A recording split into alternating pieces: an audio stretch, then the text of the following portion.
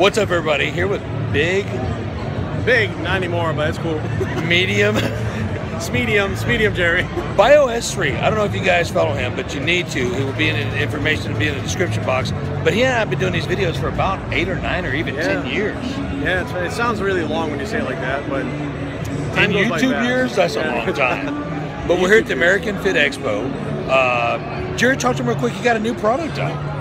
Yeah, so GAFD Labs, um, Big J and I used to work with Isatori together. We used to travel all over the place, and over time, what happens is now he has his own company, I have my own company, which, you know, you get to a certain point where you're working for other people and doing things that you realize, I could be doing that for myself. And then you have a vision, and then you make that vision reality, and that's where we're at now. So I have GAFD Labs, I have two products out right now, and um, What are honestly, so Perfect Post Elite, which is the, the first perfect, or excuse me, the first post-workout um, supplement on the market to ever have glycerol in it, which helps you hydrate the cell Yeah. after the workout, which is the most anabolic time. And we used to take that individually back in the day. That- I actually reference that. We used to take Right. that to dry out for a show too.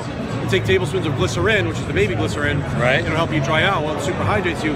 And BMR4, which was our fat, it's a metabolic stabilizer, not really a fat burner, but it's going to be categorized as a fat burner. Okay. Which sold out within two weeks. Wow! So now we're waiting on Congratulations, batch, brother. so thank you so awesome, much. man.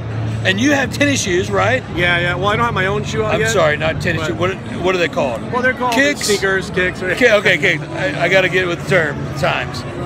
So, okay, and and what are those about?